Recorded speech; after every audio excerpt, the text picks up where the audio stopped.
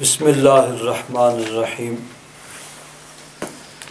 इन्नल्लज़ीन युहाद्दून अल्लाह व रसूला बेशक जो लोग अल्लाह और उसके रसूल की मुखालफत करते हैं हादा का माना मुखालफत करना अहकाम इलाई की अल्लाह रसूल के इर्शादात अहकाम और दीन की मुखालफत करना। तो जो अल्लाह और उसके रसूल की मुखालफत करते हैं उला फिल अजल्लीन। वो सबसे कम तरीन, जलील तरीन लोगों में से हैं। पीछे इसी सूरत में यह आयत इस तरह गुजरी है। इन व रसूल वो जो अल्लाह और उसके रसूल की मुखालफत करते हैं, कोबेतु, वो हलाक किए जाएँगे, तबाह किए जाएँगे, जलील रसवा किए जाएँगे, कमा कुबित लजीन मिन कबल जैसा कि इनसे पहले लोग हलाक किए गए, तबाह किए गए, जलील और रसवा किए गए। जो अल्लाह रसूल के अहकाम की मुखालफत करता है, अल्लाह तबारक व ताली के नज़दीक वो सबसे कम तरीन और जलीन तरीन लोगों में से हैं। चाहे दुनियावी एतबार से लोगों के नज़दीक उनका बड़ा दर्जा, मरतबा हो और माशरे के अंदर उनकी बड़ी इज़्ज़त हो। लोग उनके आगे पीछे फिरते हों और उनके अहकाम चलते हों।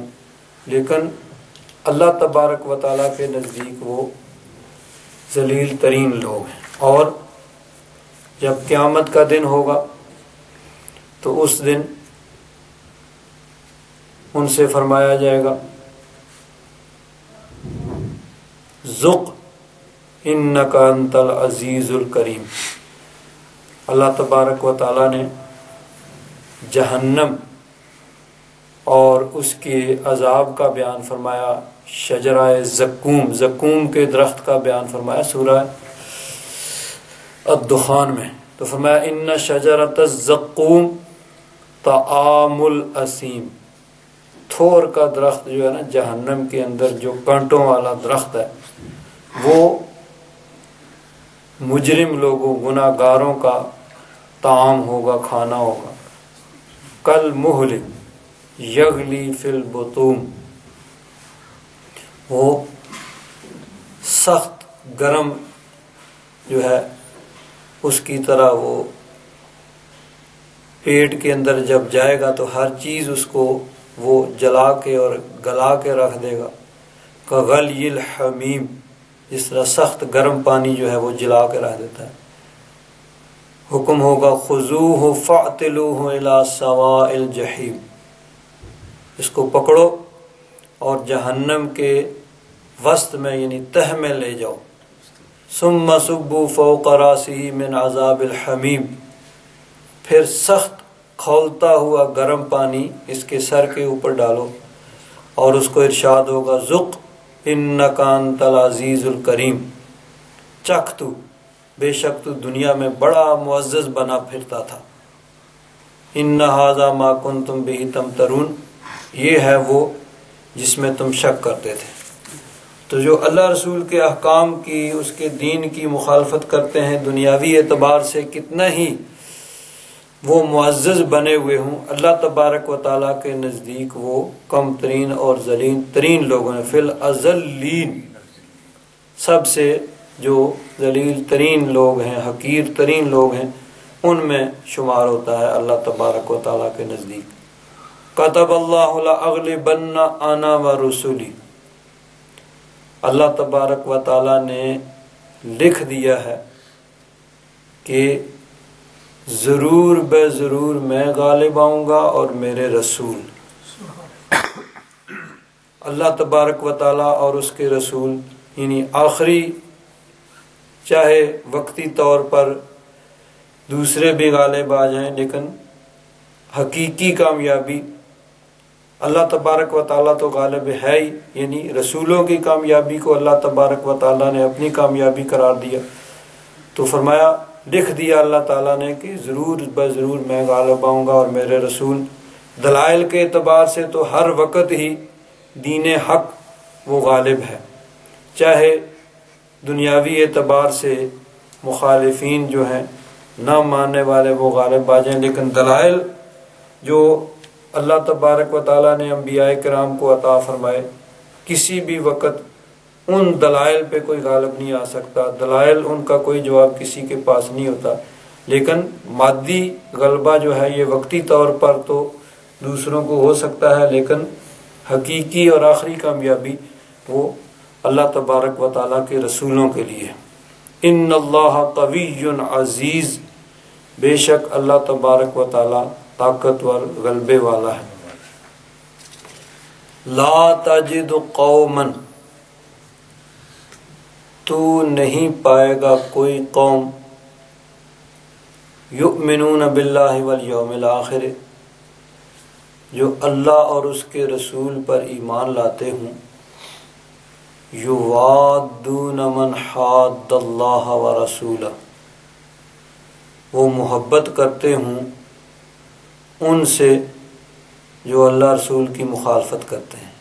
यानी ईमान वाले दावा ईमान का करते हूँ, कलमा पढ़ते हूँ, कहते हूँ हम मोमिन हैं और दोस्ती रखें उनसे जो अल्लाह रसूल के मुखालिफ हैं, अल्लाह रसूल के दुश्मन हैं। ये नहीं हो सकता। यानी कोई ऐसी कौम जो अल्लाह पर और क़यामत के दिन पर ईमान लाती है, ये नहीं हो सकता कि वो अल्लाह रसूल के दुश्मनों, अल्लाह रसूल के मुखालफों से मोहब्बत रखते हो। यानी ये दो चीज़ें इकट्ठी नहीं हो सकती। अल्लाह रसूल के दुश्मन की मोहब्बत और ईमान। ईमान है तो फिर अल्लाह रसूल के दुश्मन की मोहब्बत नहीं आ सकती। और अगर अल्लाह रसूल के दुश्मन की मोहब्बत है तो फिर ईमान नहीं हो सकता। ये दो चीज़ें अजली अबदी एक दूसरे की ज़िद हैं। तो अल्लाह रसूल के दुश्मनों के साथ दोस्ती और उनकी मोहब्बत भी दिल के अंदर हो और फिर ईमान का आदमी दावा भी करे तो वो दावा ईमान में झूठा है, क्योंकि ये दो चीज़ें एक दूसरे की अबदी और हकीकी ज़िद हैं जो इकट्ठी नहीं हो सकती। तो फरमाया, ला ताजिद कौम यौमिल आखिर, युवादून मन व रसूल तो कोई कौम ऐसी नहीं पाएगा कि जो अल्लाह रसूल पे ईमान रखते हों। क़्यामत, यहाँ अल्लाह तबारक व और क़्यामत पर ईमान लाना, इसके दरमियान में तमाम ज़रूरियात दीन आ गई। यानी दीन में जिन जिन चीज़ों पर ईमान लाना ज़रूरी है, वो सब पे ईमान रखते हूँ और फिर साथ में अल्लाह रसूल के दुश्मनों से मोहब्बत भी रखें, ये नहीं हो सकता। ये दो अलग चीज़ें हैं। या ईमान होगा या अल्लाह रसूल के दुश्मनों की मोहब्बत होगी, ये तो चीज़ें इकट्ठी नहीं हो सकती। ये आग और पानी है जो आपस में कभी भी इकट्ठे नहीं हो सकते। वलव कानू आबा चाहे वो अल्लाह रसूल से दुश्मनी रखने वाले, अल्लाह रसूल की मुखालफत करने वाले, उनके आबाई हूँ। वो औ अबना हूँ या उनके अबना, यानी उनके आबाओ अजदाद हूँ या उनके औलाद हूँ, औ इखवाना हूँ या उनके भाई हूँ, औ अशीरता हूँ या उनका खेश कबीला हो, कोई भी हो, कसे बाशद। जब अल्लाह रसूल का मुखालिफ है, अल्लाह रसूल का दुश्मन है तो फिर ईमान वाले उससे कल्बी और दिली मोहब्बत नहीं कर सकते। उनके दिल के अंदर उनकी मोहब्बत नहीं हो सकती, चाहे कितना ही करीबी रिश्ता उनके साथ हो। जब वो अल्लाह रसूल का दुश्मन और अल्लाह रसूल का मुखालिफ है तो फिर ईमान वाले उनसे मोहब्बत नहीं रख सकते, ये नहीं हो सकता। अब अगर कोई आदमी ये दावा करे, एक तरफ़ वो अल्लाह रसूल के दुश्मनों से दोस्ती और मोहब्बत भी रखता हो, एक होता है दुनियादारी। वो अलग चीज़ है। यहाँ कल भी दिली मोहब्बत का, यानी ज़िक्र हो रहा है कि दिल के अंदर जिसकी इंसान के कशिश और मोहब्बत होती है तो दिल के अंदर अल्लाह रसूल के दुश्मनों की मोहब्बत भी हो और फिर ये आदमी ईमान का दावा भी करे तो वो वो ईमान के दावे के अंदर झूठा होगा, चाहे वो अल्लाह रसूल की मुखालफत करने वाले माँ बाप हूँ, औलाद हो, भाई हूँ, कबीला हो, कोई भी हो। इसी मजमून को अल्लाह तबारक व ताली ने और मकाम पे भी मुख्तलिफ़ अंदाज में ज़रा बयान फरमाया।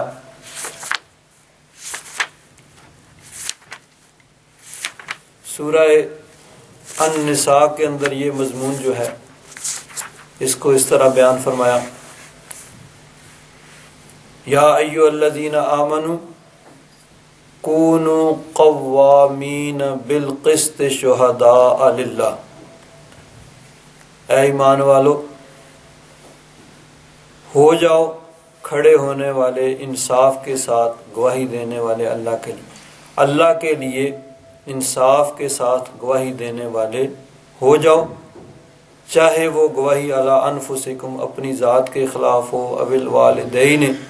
या वालदेन के ख़िलाफ़ हो, वल अकरबीन, या अपने करीबी रिश्तेदारों के ख़िलाफ़ हो।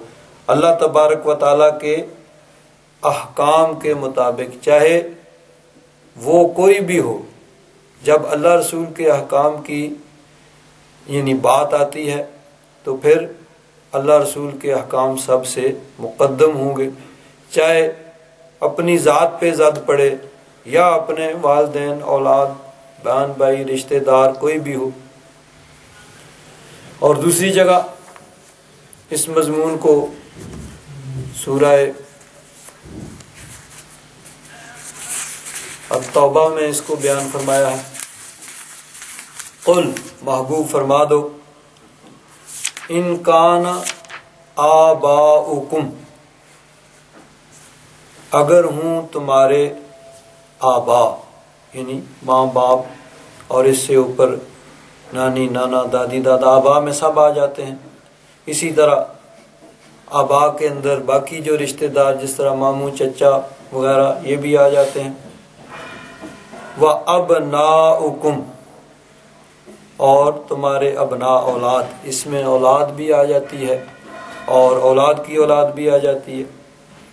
व इखवानुकुम, और तुम्हारे भाई चाहे तुम्हारे आबा हूँ, अबना हूँ, इखवान हूँ, यानी तुम्हारे बहन भाई हूँ, व अजवाजुकुम, तुम्हारे अजवाज, यानी जौज, जोड़ा खावन के लिए बीवी बीवी के लिए खावन व अशीरतुकुम, और तुम्हारा खेश कबीला, कुंबा, करीबी रिश्तेदार, व अम वाल निक तरफ़ मुहा और तुम्हारे वो माल जिनको तुमने जमा किया, यानी बड़ी मेहनत के साथ तुमने उनको जमा किया है। इसमें मालो दौलत और इसी तरह मकानात वगैरह। व तिजारतन तखशौन कसादहा और वो तजारत जिसके कसाद का घाटे का तुम्हें खदशा लगा रहता है कि कहीं इसमें खसारा ना हो जाए, कहीं घाटा ना हो जाए। व मसाकिन तर हा, और तुम्हारे पसंदीदा मकानात, कोठियाँ, बंगले, जिनको तुमने बना संवार के और तजीन आरइश करके रखा हुआ है। तो ये आठ चीज़ों का ज़िक्र इस आयत में हुआ, और ये आठ चीज़ें वो हैं कि जिनकी मोहब्बत तभी तौर पर, फितरी तौर पर नेचुरली इंसान के दिल के अंदर होती है। फितरत के इंसान की फितरत के अंदर इनकी मोहब्बत रखी हुई है। माँ बाप औलाद बहन भाई इसी तरह बीवी खामन कबीला मालो दौलत तजारत और पसंदीदा मकानात ये आठ चीज़ें जिनकी हर इंसान के दिल के अंदर फितरी तौर पर मोहब्बत होती है। इन आठ चीज़ों को बयान करने के बाद फरमाया अल्लाह व रसूल अगर ये चीज़ें या इनमें से कोई चीज़ तुम्हें अल्लाह और उसके रसूल से ज़्यादा पसंदीदा है वह जिहाद इन फ़ी सबील ही और अल्लाह की राह में जिहाद करने से ज़्यादा ये तुम्हें पसंद है फ़तः रब्बासू हत्याती अल्लाह बेमरे तो फिर इंतज़ार करो, यहाँ तक कि अल्लाह अपना हुक्म ले आए। यानी अल्लाह के हुक्म और उसके फैसले और उसके अजाब का फिर इंतज़ार करो। तो ये सारी चीज़ें जो है इंसान को फितरी तौर पर मोहब्बत होती है। तो इन आठ चीज़ों की जिनकी सबसे ज़्यादा इंसान को मोहब्बत दुनिया में हो सकती है इनका ज़िक्र करके फरमाया, ये नहीं कि इन चीज़ों से किस मोहब्बत करने से रोका जा रहा है। नहीं, इसको कंपेयर किया जा रहा है, मुकाबला किया जा रहा है कि एक तरफ़ अल्लाह रसूल की मोहब्बत है और एक तरफ़ इनकी मोहब्बत है। तो इन चीज़ों की मोहब्बत जिनकी फितरत में इंसान के है, लेकिन ये मोहब्बत अल्लाह रसूल की मोहब्बत के मुकाबले में मगलूब रहनी चाहिए। गालिब नहीं आनी चाहिए। अगर ये मोहब्बत गालिब आ जाए, अल्लाह रसूल की मोहब्बत मगलूब आ जाए, एक तरफ़ अल्लाह रसूल के अहकाम हों, एक तरफ़ इन चीज़ों में से कोई चीज़ हो, और उस वक़्त देखा जाएगा कि किस चीज़ की मोहब्बत गालिब है। एक तरफ़ माँ बाप कुछ कहते हैं, अल्लाह रसूल का हुक्म कुछ है तो अगर माँ बाप की मानता अल्लाह रसूल के हकाम की मुखालफत हो रही है तो गोया माँ बाप की मोहब्बत ज़्यादा है। औलाद कुछ कहती है, अल्लाह रसूल का हुक्म कुछ है। अब देखा जाएगा कि औलाद की मोहब्बत ज़्यादा है कि अल्लाह रसूल की मोहब्बत ज़्यादा है। किसका इंसान मानता है? इसी तरह बहन, भाई, मियाँ, बीवी, रिश्तेदार, एक तरफ़ इंसान वो अपना माल है, एक तरफ़ अल्लाह रसूल का हुक्म है। अब देखा जाएगा कि मोहब्बत माल की ज़्यादा है या अल्लाह रसूल की मोहब्बत ज़्यादा है। इसी तरह तजारत है इंसान की पेशा है, कारोबार है। अल्लाह रसूल के हुक्म के मुकाबले में जब वो आ जाता है, फिर देखा जाएगा। इसी तरह पसंदीदा मकान तो ये आठ चीज़ें जिनकी मोहब्बत इंसान के फितरत के अंदर मौजूद है। इनको बयान करके फरमाया कि अगर अहब्बा, इसमें तफजील का सीगा इस्तेमाल फरमाया कि अगर इनकी मोहब्बत तुम्हारे दिलों में ज़्यादा है अल्लाह रसूल से और अल्लाह की राह में जिहाद करने से तो फिर इंतज़ार करो। यहाँ तक कि अल्लाह तबारक व अपना हुक्म ले आए तो यानी इन चीज़ों की मोहब्बत, अगर अल्लाह रसूल की मोहब्बत पे गालिब है तो फिर अल्लाह रसूल के अल्लाह तबारक व के फैसले का इंतज़ार करो, उसके हुक्म का और उसके अजाब का इंतज़ार करो।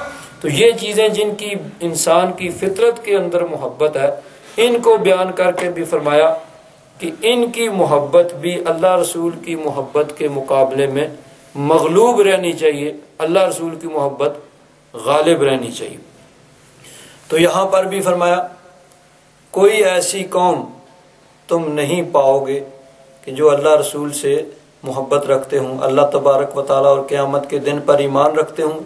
यानी दावा हो कि हम ईमान वाले हैं, अल्लाह पर ईमान रखते हैं, क़्यामत पे ईमान, यानी इसके अंदर तमाम ईमानियात, ईमान की बुनियादी ज़रूरी चीज़ें आ जाती।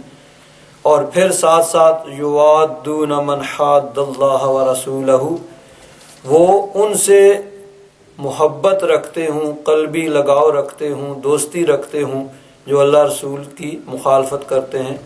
तो ये दो चीज़ें इकट्ठी नहीं हो सकती।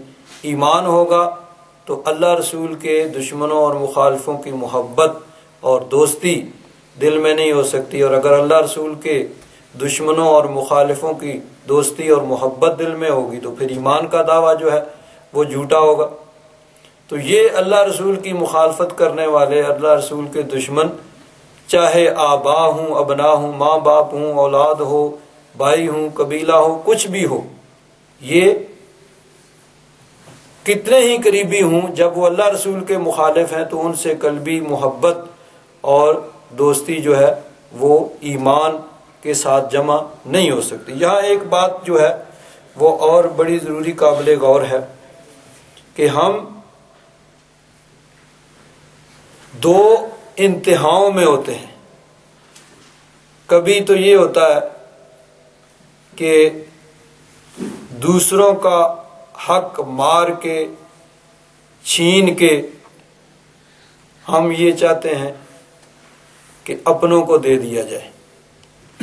अपने रिश्तेदारों को माँ बाप बहन भाई औलाद, करीबी जो हैं, दोस्तों को, दूसरों का हक मार के, छीन के, जुल्म, ज्यादती करके इनको दे दिया जाए। और कभी ये होता है कि अपने यही करीबी रिश्तेदार जो हैं माँ बाप हूँ, इसी तरह बहन भाई हूँ, कबीले वाले हूँ, उनके साथ इस तरह की बाज औकात जो है, वो दुश्मनी हो जाती है कि उनसे इंसान बातचीत करना भी गवारा नहीं करता। सलाम, कलाम जो है, सब ख़त्म हो जाता है। तो ये दो इंतहाएँ हैं। कभी तो इंसान ये चाहता है कि सबका हक मार के, छीन के इनको दे दिया जाए। और कभी ये होता है कि उनसे इंसान बातचीत करना, सलाम कलाम तक ख़त्म कर देता है। तो इसमें असल जो है इंसान की वो नफसानियत होती है। इंसान अपने आप को जब ये जो करीबी रिश्तेदार हैं, उसके मजाज के मुताबिक चलें और उसकी जो है खुशी उसकी हाँ में हाँ मिलाएँ और उसको खुश रखें तो फिर ठीक है भाई। सबका हक मार के इनको दे दो। और अगर ज़रा मजाज के ख़िलाफ़ बात हुई, ज़रा कुछ मर्ज़ी के ख़िलाफ़ हुआ तो फिर ऐसी मुखालफत के जी, ठीक है, अब इनसे बातचीत भी नहीं करनी है सलाम कलाम भी नहीं करना। तो ये दो इंतहाएँ हैं। इस्लाम, ईमान, इन दोनों इंतहाओं को छोड़ के म्याना रवि और इतदाल को जो है इख्तियार फरमाता है। एक तरफ़ तो ये नहीं है कि दूसरों का हक मार के इनको दिया जाए, और ना ये कि इस तरह हो कि उनसे इंसान बातचीत करना और कलाम करना भी छोड़ दे। हालाँकि अपने करीबी रिश्तेदारों से नेक सलूक करना अच्छा सलूक करना, अच्छे तल्लकात रखना, इस पे बहुत ज़्यादा ज़ोर दिया गया है। अल्लाह तबारक व ताली और उसके महबूब ने इस पे बहुत ज़ोर दिया है, लेकिन उसके लिए इस चीज़ को मद्देनज़र रखना ज़रूरी है कि ये नहीं हो कि किसी पे जुल्म ज्यादती करके किसी का हक मार के उनको दिया जाए। नहीं। ये भी ना हो और ये भी ना हो कि उनके साथ इंसान तल्लकात को ख़त्म कर दे। वो इंसान की फितरत के अंदर रखे गए हैं। इन सब चीज़ों की ख़ास तौर पर अपने माँ बाप बहन भाई औलाद, रिश्तेदार, इन चीज़ों की मोहब्बत इंसान के फितरत के अंदर है और अल्लाह तबारक व ताली और उसके रसूल का हुक्म है कि उनके साथ अच्छे तल्लक रखे जाएँ और उनके साथ हुसन सलूक किया जाए। चुनाचे देखिए, हुजूर नबी करीम वसल्लम का इरशाद ग्रामी है। अमारानी रब्बी बेतिस अल्लाह तबारक व ताली ने मुझे नौ चीज़ों का हुक्म दिया है। खशियतन फिर वल अलानियत। ज़ाहिर और बातन उसमें खौफ लाई सिर्फ़ ये नहीं कि लोगों के सामने तो इंसान तकवा और परहेजगारी का इजहार करे और अकेले में या निजी महफिल के अंदर फिर कुछ और हो? नहीं। जो सामने हो, वही पोशीदा हो। जो ज़ाहिर हो, वही बातिन हो। जो पब्लिक आवाम के सामने हो, तन्हाई में भी वही होना चाहिए। तो खशियतन फिर वल अलानियत अल्लाह तबारक व ताली ने हुक्म दिया कि ज़ाहिर, यानी पोशीदा और ज़ाहिर, उसमें खौफ लाई जो लोगों के सामने है वही तन्हाई में भी होना चाहिए। व कलिमत व कलिमतिल अदल फिल गदब वर रिदा। इंसाफ और हक की बात कहने का अल्लाह ताला ने हुक्म दिया, चाहे इंसान गुस्से में हो या खुशी में हो। इंसान की जब कैफियत मुख्तलिफ़ होती है तो आम तौर पर यह भी होता है कि उसका रवैया भी बदल जाता है। तो ये नहीं होना चाहिए, चाहे गजब की हालत हो, चाहे रिदा खुशी की हालत हो, अदलो इंसाफ का दामन जो है, वो हाथ से नहीं छूटना छूटना चाहिए। हर हालत में अदलो इंसाफ जो है, वो ज़रूरी है। वल कसद फिल फ़क्र वल गना। मैं तीसरी चीज़ का अल्लाह तबारक व ताली ने यह हुक्म दिया कि म्याना रवि, दरमियानी रस्ते को इख्तियार करूँ। चाहे फ़क्र हो और चाहे गना हो, यानी तंग दस्ती हो या फराख दस्ती हो, मालो दौलत की कसरत हो या मालो दौलत की कमी हो, म्याना रवि को इख्तियार किया जाए। अब उमूमन ये होता है कि जब मालो दौलत की कसरत होती है तो फिर इन्हीं इंसान बेबहा खर्च करता है और फ़क्र में फिर ज़रूरी अखराज उनसे भी हाथ खींच लेता है। तो फरमाया, नहीं, म्याना रवि को इख्तियार करो। ये अल्लाह तबारक व ताली का हुक्म है और एक हदीस पाक में आता है, मा आला मा निकता सादा। कि जिसने म्याना रवि को इख्तियार किया, वो कभी फ़कीर नहीं होता। तो फरमाया, अल्लाह तबारक व ताली ने मुझे फ़कर और गना दोनों हालतों में म्याना रवि, दरमियानी रास्ता जो है उसको इख्तियार करने का हुक्म दिया। व अन आसिला मन काता आनी और अल्लाह तबारक व ताली ने मुझे ये हुक्म दिया है कि मैं उससे ताल्लुक जोड़ूं जो मुझसे तोड़ता है। सिला रमी ये ख़ास करीबी रिश्तेदारों के साथ ताल्लुक जोड़ने के माने में आता है। तो अन आसिला, मैं सिला रहमी करूँ, यानी ताल्लुकात को जोड़ूं अपने उन रिश्तेदारों से जो मुझसे तोड़ते हैं। जो ताल्लुक तोड़ते हैं, दूर होते हैं, मैं उनको करीब करने की कोशिश करूँ। वह अन उतिया मन हरामनी, और मैं उसको दूँ जो मुझे महरूम करे। जो तो खुश करे उसको तो सभी देते हैं। एक आदमी तोहफा लेके आता है, आदमी उसके मुकाबले में उसको तोहफा देता है। जो मजाज के मुताबिक होता है, उसको आदमी फरमाया, नहीं, अल्लाह तबारक व ताली का हुक्म है, वह उतिया मन हरामनी कि जो मुझे महरूम करता है, मैं उसको दूँ। व आफ व अमन जलामनी और जो मुझ पे जुल्म ज्यादती करता है, मैं उसको माफ़ कर दूँ। यानी जो अच्छे तल्लकात रखता है, उससे तो सारे ही अच्छे तल्लकात रखते हैं। पर मैं अल्लाह ताला का हुक्म यह है कि जो मुझ पे जुल्म ज्यादती करे, मैं उसको माफ़ कर दूँ। यानी उसको सजा देने की या बदला लेने की ताकत होने के बावजूद उसको माफ़ कर दिया जाए। वह यकून समति फिक्रन और ये कि मेरा खामोश रहना बेमकसद ना हो, बल्कि उसमें भी मकसद हो। कोई सोच अगर खामोश हूँ तो किसी हिकमत के पेश नज़र। व नुतकी ज़िक्रन और मेरा बोलना ज़िक्र हो, यानी फजूल गुफ्तगु, बेमकसद गुफ्तगु ना हो, बल्कि अगर खामोशी हो तो उसमें भी फ़िक्र हो।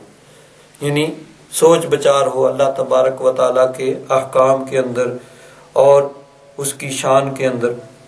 और बोलना हो तो बोलना भी बा मकसद हो, जिसमें ज़िक्र हो, वाज नसीहत हो, अच्छी बात हो। व नजरी इबरतन।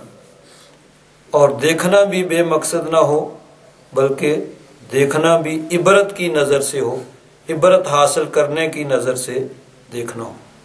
तो फरमाया, सात चीज़ों का अल्लाह तबारक व ताली ने मुझे हुक्म दिया इन सात चीज़ों में, अन आसिला मन कतानी, कि जो मेरा करीबी रिश्तेदार मुझसे दूर भागता है, ताल्लुकात तोड़ने की कोशिश करता है, मैं उसे जोड़ने की कोशिश करूँ। और एक हदीस पाक में है लेसल वासिलो बिल मुकाफे उसको सिला रहमी करने वाला नहीं कहा जाएगा, जो मुकाबला करता है, बदला देता है कि अच्छे तल्लकात, जो रिश्तेदार अच्छे तल्लकात मेरे साथ रखता है। मैं भी उसके साथ अच्छे तल्लकात रखूँगा। जिस तरह हम कहते हैं कि ठीक है भाई, जैसे कोई करेगा, वैसे ही हम भी करेंगे। जिस तरह हमारे साथ कोई रवैया रखेगा, हम भी उसके साथ उसी तरह रवैया रखेंगे। जो जिस तरह करेगा, उसी तरह हम भी करेंगे।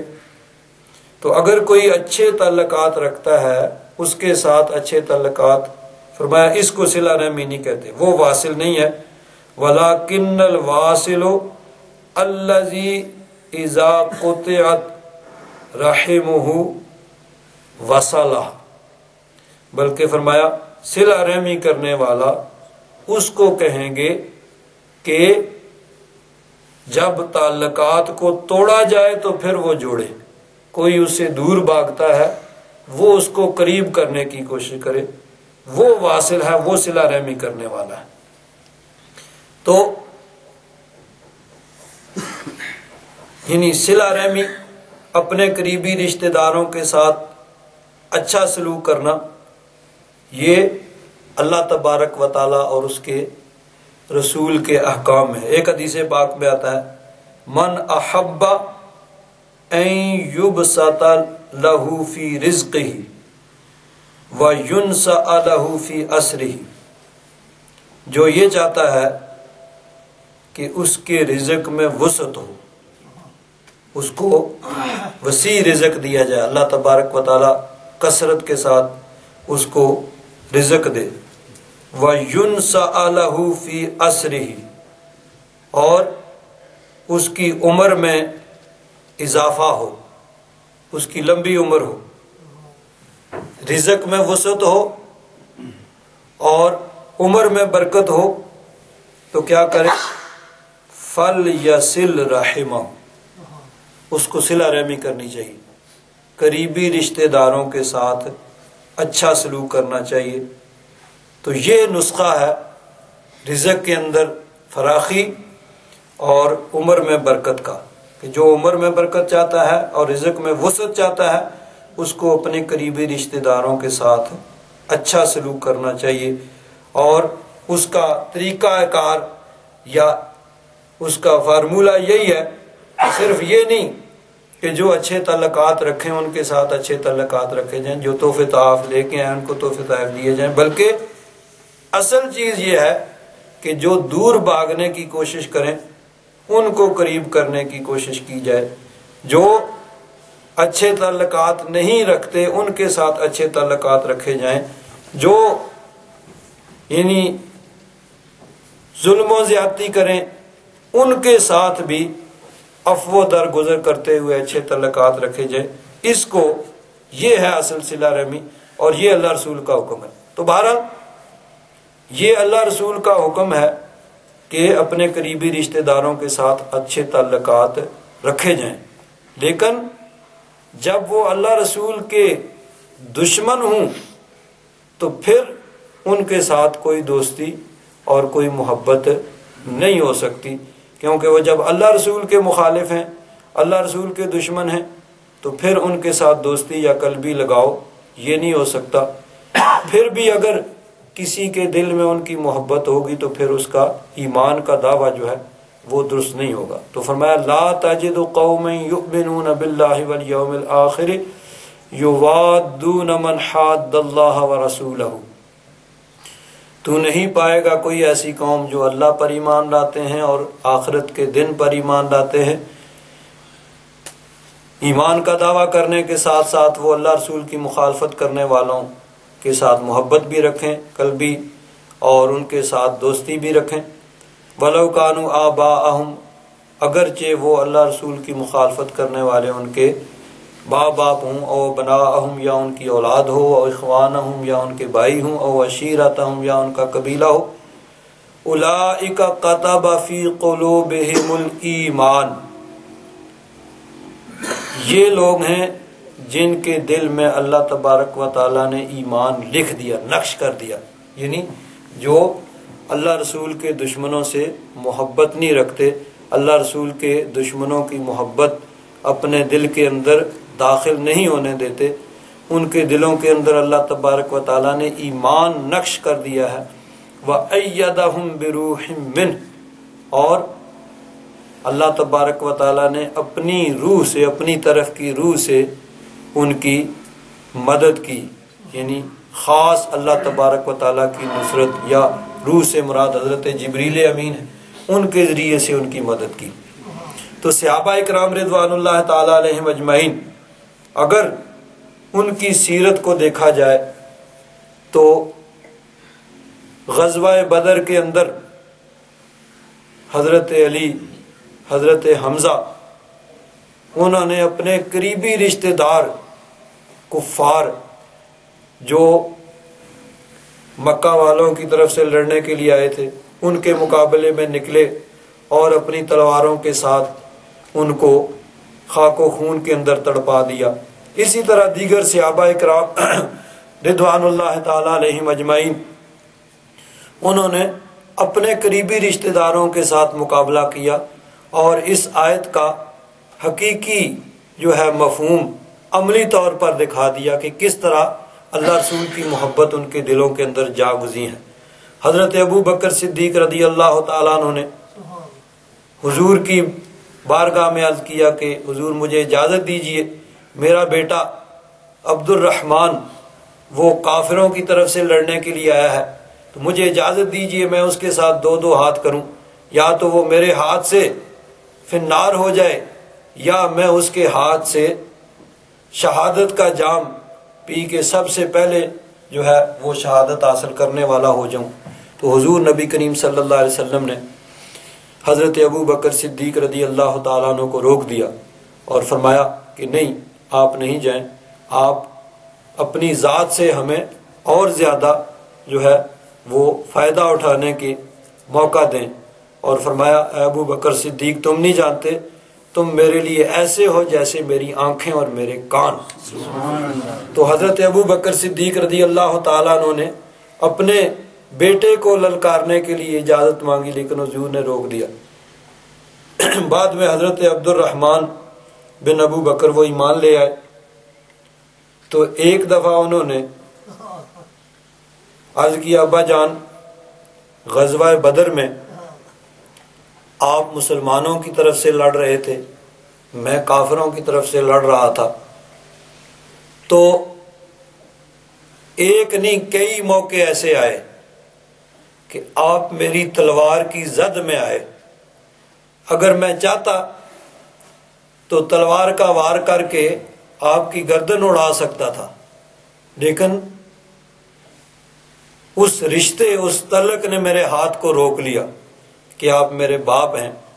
इस ताल्लक ने मेरे हाथ को रोक लिया और मैंने तलवार नहीं चलाई, वरना आप मेरी तलवार की जद में थे। मैं चाहता तो आपका सर कलम कर देता। लेकिन मैंने अपना हाथ रोक लिया कि मेरे अब्बा जान है। चाहे मैं जो है ईमान नहीं लाया हूँ और ये ईमान ले आए दीन की मुखालफत के बावजूद सिर्फ़ इस वजह से मैंने अपना हाथ रोक लिया कि आप मेरे अब्बा जान तो हज़रत अबू बकर सिद्दीक रज़ी अल्लाह तु ने फरमाया कि तू ने तो अपना हाथ इसलिए रोक लिया कि मैं तुम्हारा बाप हूँ। लेकिन जलाल की कसम अगर उस वक़्त तू मेरी तलवार की जद में आता तो मैं अपनी तलवार को कभी इसलिए न रोकता कि तू मेरा बेटा है। बल्कि मैं अपनी तलवार चला देता कि ये अल्लाह रसूल का दुश्मन है।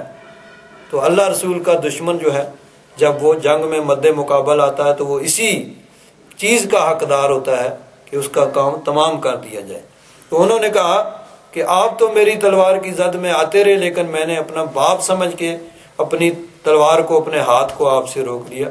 हज़रत अबू बकर सिद्दीक ने फरमाया कि अगर तू मेरी तलवार की जद में आता तो रब जलाल की कसम मैं अपना हाथ कभी ना रोकता, मैं तुझे उसी वक़्त खाब को खून के अंदर तड़पा देता।